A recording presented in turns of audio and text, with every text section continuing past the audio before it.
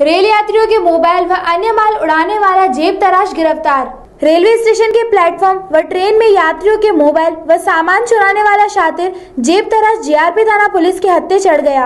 आरोपी के कब्जे से छह मोबाइल व अन्य माल जब्त किया गया है। अजमेर जीआरपी थाना अधिकारी सुशीला बिश्नोई ने बताया कि बिहार निवासी मनीष रेलवे स्टेशन पर ट्रेन का इंतज़ार कर रहा था। इसी दौरान किसी जेब तराश ने उसका मोबाइल चुरा लिया। उसने इसकी शिकायत जीआरपी के गश्ती दल को की।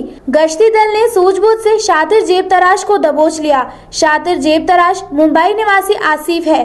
आसिफ के कब्जे से आधा दर्जन चोरी के मोबाइल व अन्य माल जब्त किया है। आरोपी से और भी वारदातें खुल सकती हैं। फ़िलहाल पुलिस आरोपी आसिफ से सख्ती से पूछताछ कर रही है।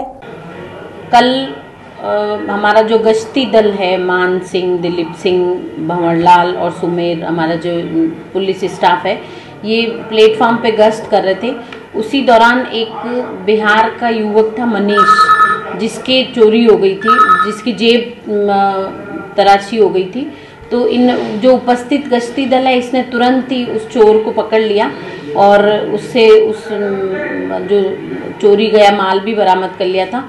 और इसी ये आले दर्जे का जेब तराश है मुंबई का रहने वाला आशिफ है।